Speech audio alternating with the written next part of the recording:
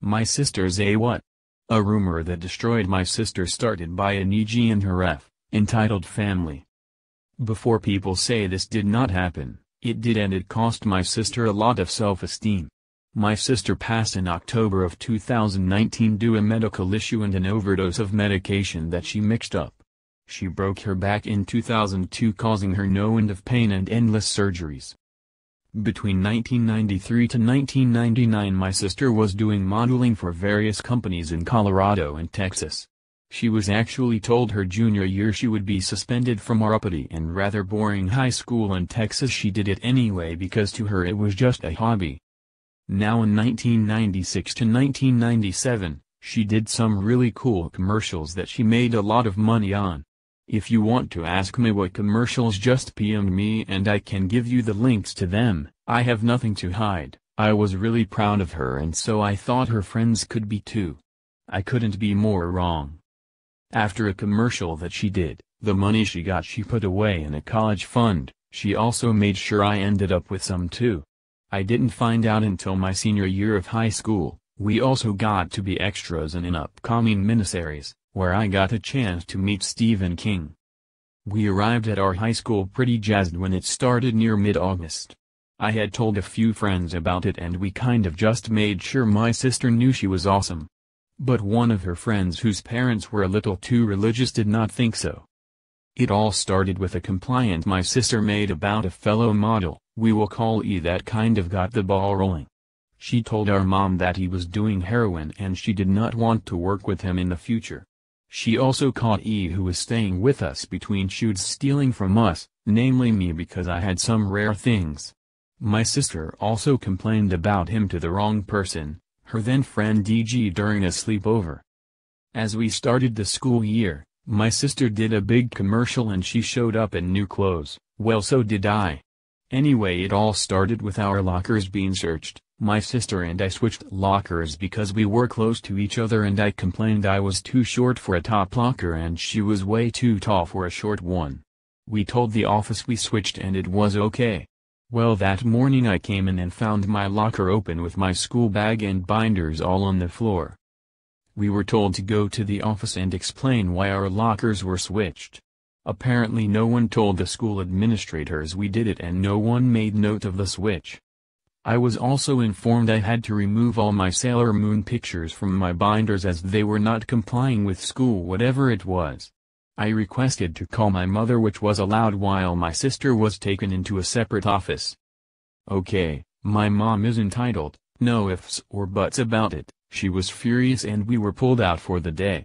Apparently my sister's EG friend told people that the modeling gigs were all lies and my sister was selling drugs. Well my friends and hers were all confused because they knew my sister modeled since 7th grade and were wondering why EG was spreading all these rumors. One of my friends who was in cheerleading with EG confronted her. Apparently what my friends told me was pretty much this, if she's really a model, she'd have tutors and not be here in school with us. She's either a prostitute or dealing in drugs.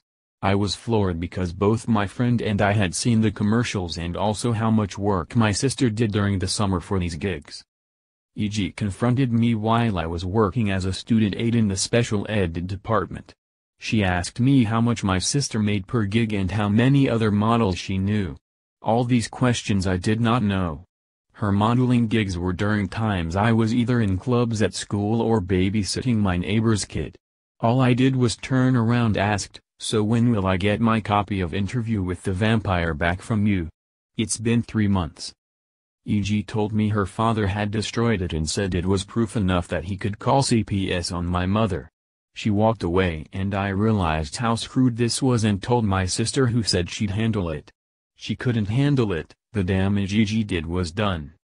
My sister was branded a slut, whore and worse by several people who had no idea what was going on. She also turned down three shoots, though one was with E so she was happy to be rid of him. By then he started to stalk her off and on, calling her and demanding to go on dates.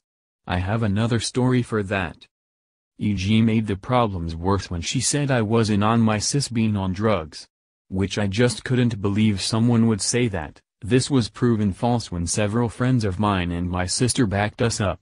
One of the people backing me up was someone I thought was a bully. Finally a headshot was found in my sister's locker that proved she was a model. In fact I was forced back into my top locker and tapped the picture to my door so when I opened it people would see it.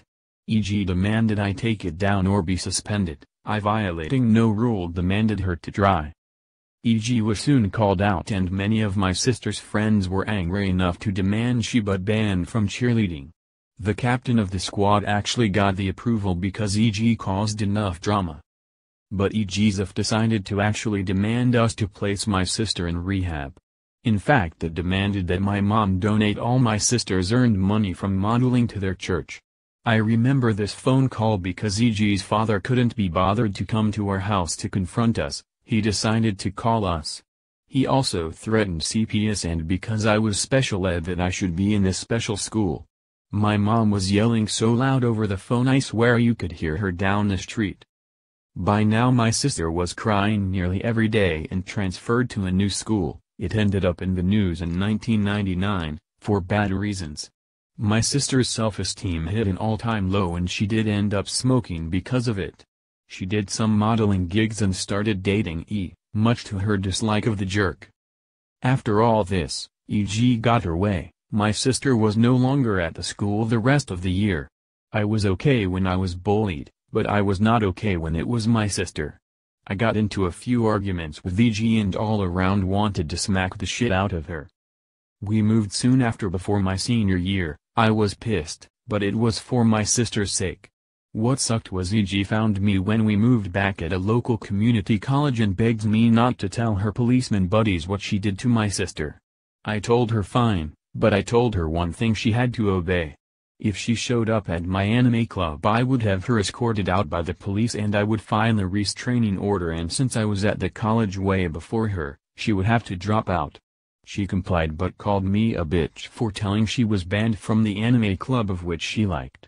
I plainly told her I didn't give a shit about what she liked, she hurt my sister and it was my turn to shit on EG's parade. I told her this before parting, Party is over princess, you're in my territory now. Have a nice day. Karma is a bitch, she never got to join the FBI, because guess who was really doing drugs? It wasn't my sister. Now if you have any doubts and how long this story was, ask. Don't assume it's fake, when I bore witness to my sister's self-esteem going rock bottom. I still hear her crying and asking how she did anything wrong. She just made one lousy friend and it all came crashing down. Edit, since so many asked for the commercials here are the two.